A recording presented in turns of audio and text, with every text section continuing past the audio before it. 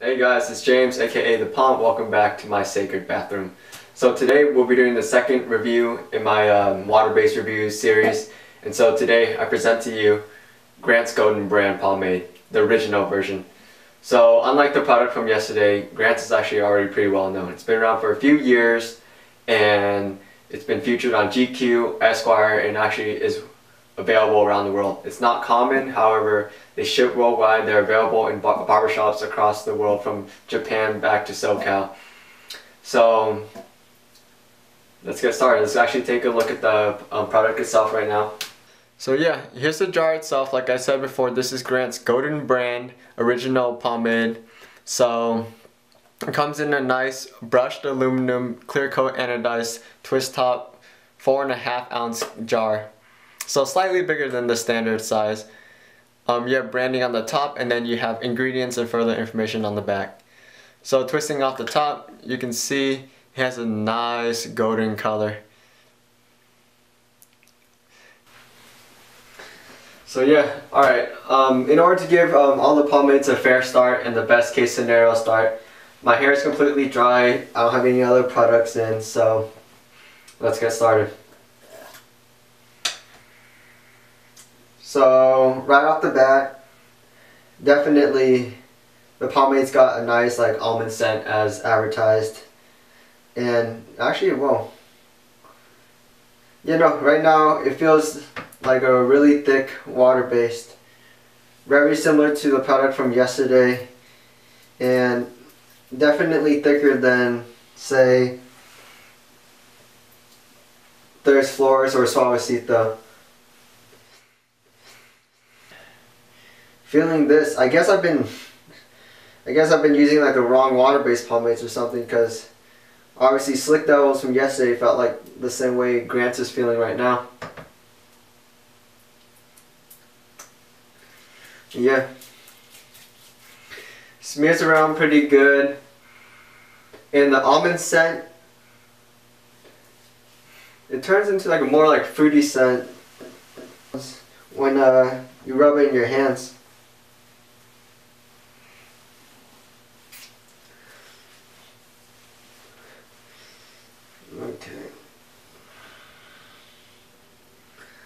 Let me get my towel real quick.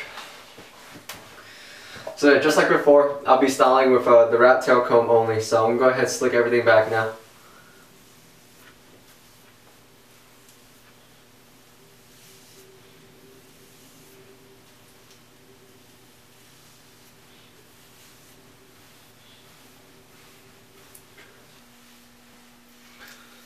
So while slicking everything back right now, I do notice that I'm actually getting a lot more shine than uh, Slick Devils yesterday, so that's making me really happy right now. Because that's typically one of the things you give up when you move over to water-based um, pomades. You give up the shine. And that's, not, that's something I don't want to give up. So, anyways, we can go ahead and start the part now.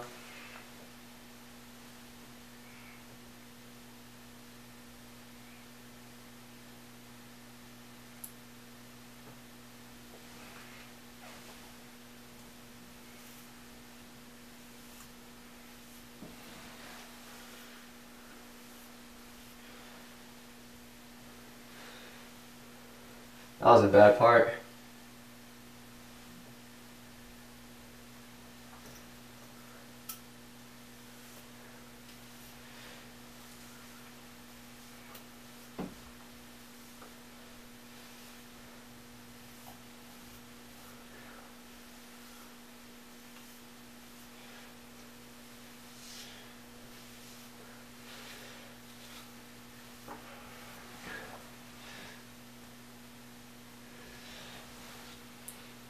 So right now it's feeling like I'm not going to get as much hold as in comparison to Slick Devil Pomade yesterday. However, the gain right now is the shine and just like the natural form. What I mean by natural form is like some some pomades would just take your hair and just shape it and then it doesn't really allow like the natural shape of your hair to come out. As in you'll get more you're more likely to get like a block shaped like pomp versus a nice uh, natural like spherical or curvy pompadour.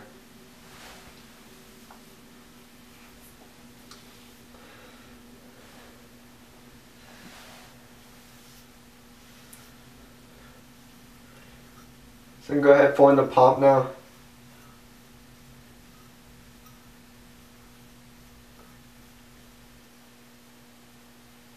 So yeah, I think the pomp is done. Uh, so let's give a general inspection of it. So from what we can see, the sides are a little puffy, if you can tell right now. I would I would wish they were held down a little bit tighter. Um, the edges are edges are nice. The part is the part is it's adequate. Um, however, the pomp itself, this is what I really like about Grants. The pomp itself is really nice. It is it has a natural shape to it. Unlike other pomades where they have like brute strength, you'll get like a block pomp or it'll just be like very it'll be like straight edge or have like it won't be rounded so I really really really like the characteristic of Grant's and its ability to have this type of pomp. I do wish it was a little bit stronger so I can slick down my sides however giving giving it a little bit more strength will sacrifice the shape of the um, itself. So honestly, I think the closest comparison to Grants right now would be uh, Tancho or Yanagiya. If you guys ever heard of it, there are two Japanese pomades, not like the modern day like Gatsby bullshit. We're talking about like old Asian men things that like it smells terrible. They come in uh, um, Tancho comes in a white and green uh, jar and uh, Yanagiya comes in like a white and lime green jar and they they have a similar characteristic. They're really like jelly-like, and so when you put in your hair, your hair gets a little balance and like volume. And Grants does the same thing, which I'm really surprised that a water base can do. Um, we'll see whether it dries hard. Similar to Slick Dive, um, my intuition says it won't, but we'll see. I'll come back in my uh, written review to tell you guys about that. If you guys want a more detailed review, you have to look towards my written review.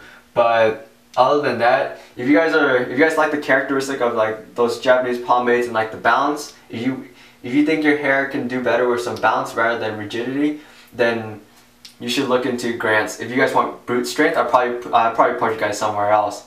However, if you guys are if you guys like a natural looking pomp, you guys want like a realistic one, not like some stupid like psychobilly bullshit, then like I'll recommend you to Grants.